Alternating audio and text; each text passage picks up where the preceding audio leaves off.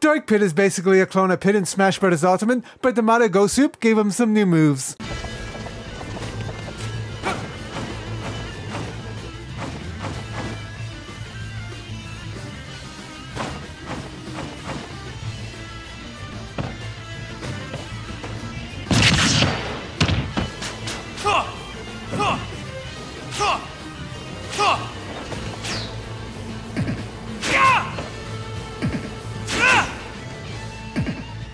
Electroshock!